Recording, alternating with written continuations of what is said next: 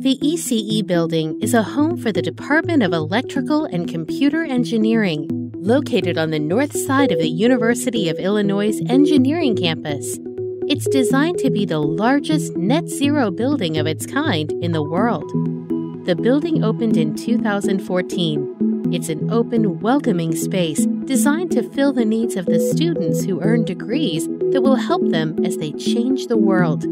Here, they gather with classmates to study and meet with recruiters from companies eager to hire them.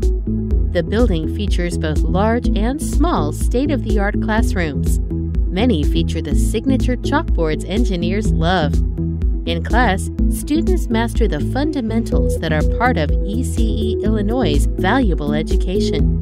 ECE Illinois prides itself on its hands on learning opportunities, which present themselves from freshman year in Introduction to Electronics to senior design class.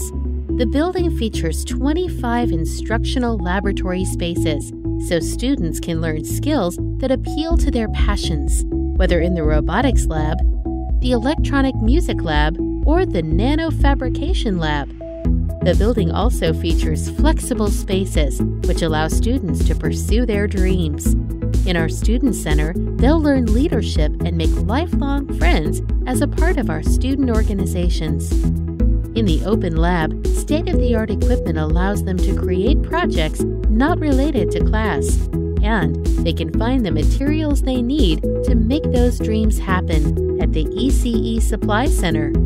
The ECE building is an anchor on the Engineering at Illinois campus, and it's surrounded by other facilities where state of the art research happens. For more information or to schedule a tour, visit our website today